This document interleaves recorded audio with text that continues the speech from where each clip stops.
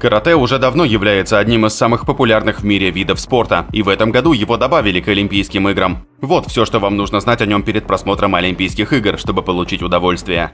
Карате десятилетиями оставалось в стороне, в то время как другие боевые искусства находились в центре внимания Олимпийских игр. Рестлинг, тэквондо, дзюдо, фехтование и бокс стали стандартной частью соревнований, в то время как карате показывало себя в фильмах, телесериалах и, конечно же, на турнирах Всемирной Федерации Карате и других подобных мероприятиях. А все потому, что, как указывает веб-сайт Олимпийской сборной США, несмотря на внимание, который этот вид спорта к себе привлек, только в 2020 году перенесенные на 2021 год игры в Токио позволили ему претендовать на надлежащее, по мнению многих мастеров боевых искусств, место. То есть до настоящего момента карате не допускалось в Олимпийские игры. Согласно изданию «Карате Атланта», карате – одно из самых популярных боевых искусств в мире. На самом деле, Nippon Communications Foundation заявляет, что по состоянию на 17 год более 100 миллионов человек в 192 странах мира практикуют искусство карате, что, по мнению многих, делает его настоящим международным соревнованием, достойным включения в Олимпийские игры.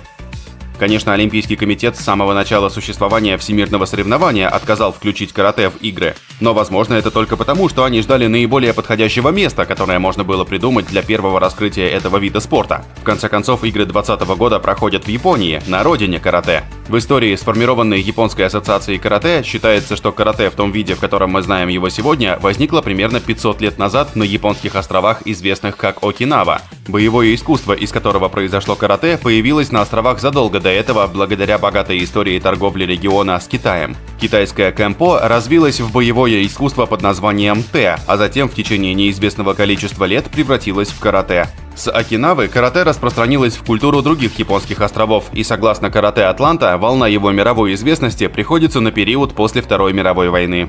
Карате, которое вы будете наблюдать во время Олимпийских игр, будет разным. Существует множество различных стилей искусства, множество связей внутри каждого искусства, множество школ для каждого из них и так далее. И вы увидите, как все они состязаются в двух разных соревнованиях. Одно из соревнований, которые вы увидите, называется ката. Ката – это серия движений, также известных как формы, которые совмещает один практикующий это искусство спортсмен. Согласно веб-сайту Олимпийских игр, в соревнованиях по ката будет разыграна одна золотая медаль для мужчин и одна для женщин. Другое соревнование по карате известно как кумите.